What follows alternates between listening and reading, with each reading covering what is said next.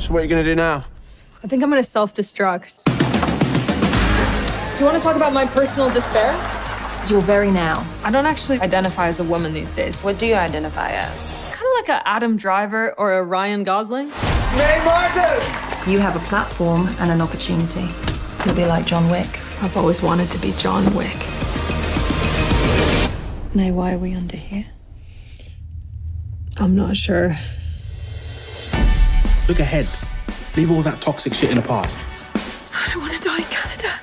Oh my god! Oh my God! You guys are a lot.